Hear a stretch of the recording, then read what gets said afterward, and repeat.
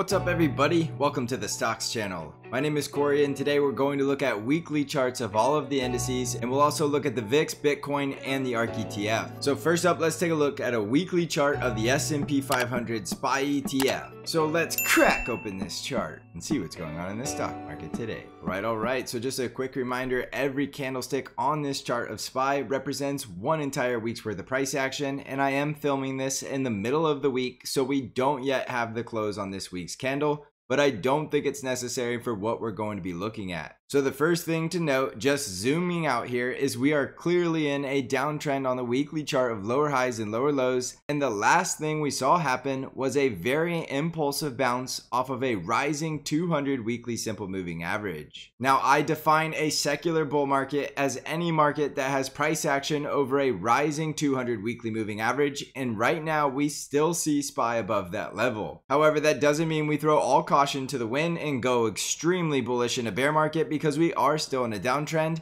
And as you can tell, we are currently getting rejected from the weekly 20 simple moving average. Also, if you draw a trend line from the bottom of the March 2020 lows and you connect it to the June 2022 lows, you can see that we did break down below that trend line and come back up near that trend line and we are currently seeing a rejection from that level. So in the short term, it definitely looks like we could be getting ready for another lower high, lower low situation. And we also did hit the 50% retracement of the entire bull market off of the 2020 lows, which was that level around SPY 349. So that strong bounce off of the 50% retracement and the 200 weekly simple moving average could be coming to a close and we could be seeing price action coming back down to retest those levels. Now the rising 200 weekly moving average on SPY is going to be that support zone around 361 and the 50% retracement is where we bounced from last time is going to be a retest of the level at 349. So if we continue to get rejected and SPY stays down below 380, we are very likely going to test these levels very soon in the very near future, especially as we go into midterm volatility. So to the downside, continue to expect lower prices while SPY is getting rejected from SPY 390, and that is going to be that retest of 361 and then 349, and if we continue lower, we could see this bear market getting into a secular bear market, which will then start the descent down towards SPY 318, which is our 0.618 Fibonacci retracement level from the March 2020 bull market. So as you can tell, this is definitely a market that is looking very weak ever since we started the year 2022, and we have given back a lot of those bull market gains already. So on SPY, I continue to tell you the greatest risk level for this bear market is going to be this risk level below 390 and while SPY is below that level, we are very likely still in this bear market. Now, if for any reason we see a reversal and SPY starts breaking back over 390, then we're going to be looking for a test of this downtrending resistance trend line,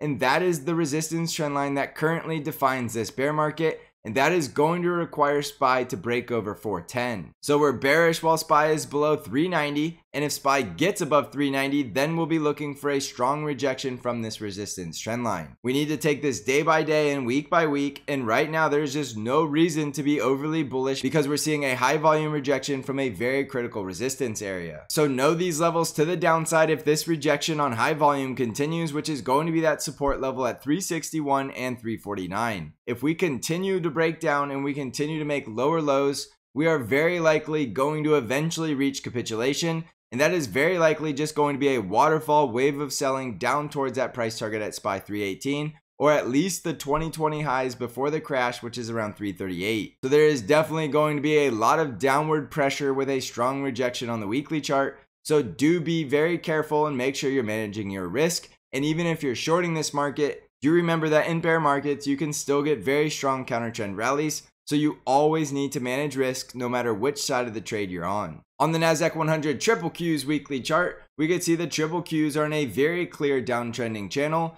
and the triple Qs did not even make it back up to the weekly 20 simple moving average before they started to see a high volume rejection on increased selling around that level at 284. As you can tell, the triple Qs are below a rising 200 weekly simple moving average, so they are definitely looking a lot weaker than the S&P 500. The last bounce we had was off of the 61.8% retracement of the bull market from the March 2020 lows, and then we did start to see a high volume rejection before we got back over that level at 287. So there is definitely a very heavy market in the triple Qs as we continue to see lower highs and lower lows. So do remember if we break down below 258, that is going to be a very bearish breakdown and we're very likely going to continue to flush to the downside which means we could see the triple Qs coming back to the 2020 highs before the crash around 234. So continue to expect lower highs and lower lows as long as we're in this bear market and as you can tell the triple Qs have been one of the leaders to the downside because they have started a lot of the selling pressure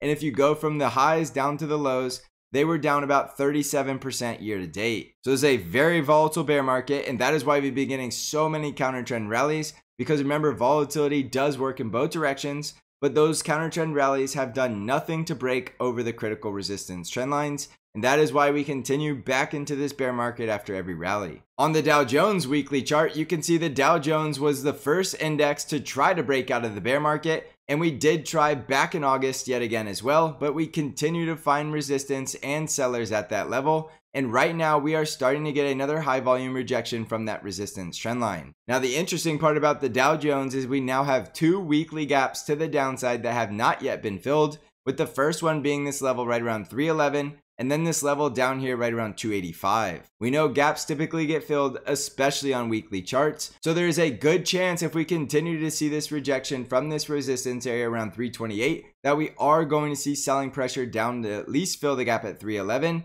and as you can tell, if we continue lower, we also have that rising 200 weekly simple moving average at 300. So the Dow Jones is by far looking the strongest, and that is because the tech sector is the majority of the selling, and the Dow Jones does not have tech stocks in its index. This is the top 30 industrial companies that move the Dow Jones, and those companies are just not quite as beat up as some of the other sectors. So as you can see, the Dow Jones is still constrained by the resistance trendline that defines its bear market, and we do have plenty of gaps to fill to the downside, which could lead to more selling pressure. Now, the other thing to note about the Dow Jones is that they are above a rising rising 20 weekly simple moving average, so you also need to watch for support right around 315. On the Russell 2000 IWM weekly chart, you can see the small caps are currently trading just below the weekly 20 simple moving average and the weekly 200 simple moving average. If you connect a trend line from the March 2020 lows to the June 2022 lows, we are currently above that trend line after seeing a little bit of a double bottom off of this level around 165. Now on the daily chart, IWM still has a valid double bottom price target, which could send it to higher prices. But as you can tell, the resistance trend line for the IWM bear market is going to have strong resistance at 188 which is also the daily double bottom price target. So we are still in a bear market in the small caps until we clearly break back over this resistance trend line above 188. And we are going to continue lower for the next leg lower in the bear market if we start to lose this support trend line around 174. So watch that critical level at 188 and the critical support at 174. And keep in mind, a lot of the indexes are all going to move together. And so far, they're all seeing high volume selling near resistance. On the VIX weekly chart, you can see the VIX remains elevated for the majority of the year, and we can see the VIX has been forming higher lows. And right now, the VIX is currently forming lower highs, so it is starting to look like it's starting to wedge into a triangle. Now, the VIX represents fear in the market, and even though we are seeing selling across the indices, we have not yet seen a huge spike in the VIX, so that is definitely a divergence we will want to pay close attention to. If the market was about to crash and go much lower, you would expect to see a spike in the VIX, but the VIX is still elevated while it's above 24, so it is still going to remain a volatile market until the VIX crushes back down below 20. So watch the VIX closely because it'll usually tell you how much fear is in the market. And right now, while we have fear in the market, we don't have those extreme levels of fear that we have when the VIX was getting in the upper 30s. And then if we do reach a full-blown capitulation, we will expect to see the VIX spiking above 40. On the Bitcoin weekly chart, we can see that Bitcoin has been building a very strong foundation of support just below 19,000 and right now we are currently still trading outside the resistance trendline, but we have not seen yet any impulsive bullish price action. We need to see Bitcoin breaking all the way back above 25,000 and then starting to make a run at that resistance level just below 32,000. So while Bitcoin is well within its bear market, it is still holding support very strongly and it has not yet been very volatile like we're seeing in the stock market because while we did have this very large bear market plunge, Bitcoin has been very stable around 19,000 ever since.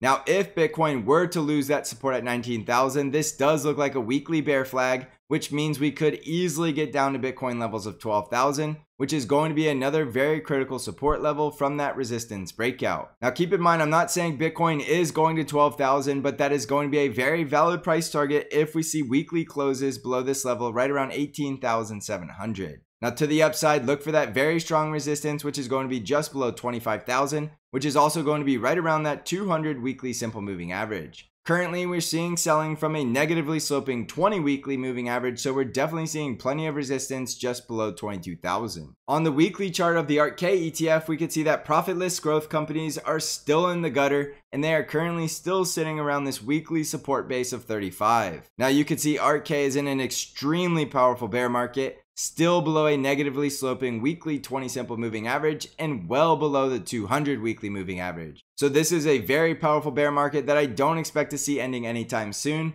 especially with how hawkish the Fed has been, and that is just not an environment that is going to be good for companies in this ETF. So there's no reason to be bullish on this ETF until we can start seeing a break back over the weekly 20 simple moving average and break out of this downtrend. So jumping back over to S&P 500, I wanted to go over this macro view of the weekly charts because it's at a very critical pivot going into the end of the year of whether or not we are going to hold above this very critical support, which is the rising 200 weekly simple moving average, or are we going to slice right through it and go into a secular bear market? Keep in mind, nobody knows for sure where the stock market is going, but it is very clear looking at this weekly chart that there is just no reason to be bullish at this time because we are still well within this bear market and we are currently seeing a high volume rejection from a very critical resistance area. So if you're an investor, you can continue to accumulate, but make sure you understand that there is no way of knowing whether or not this market is near the bottom because if we go all the way from SPY 380 down to 318,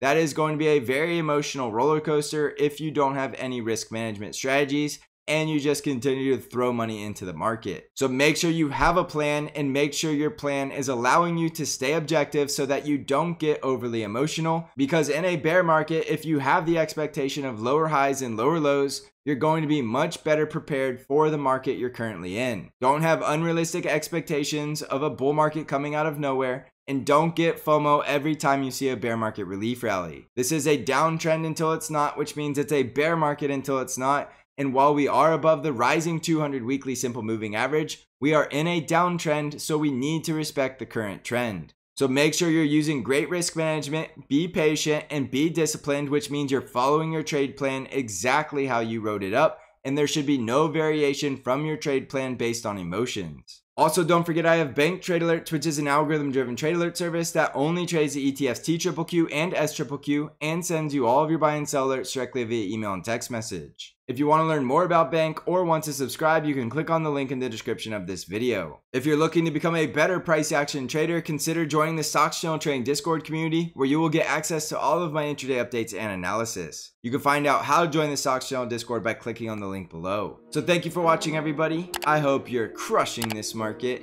And as always, I will see you in the next episode.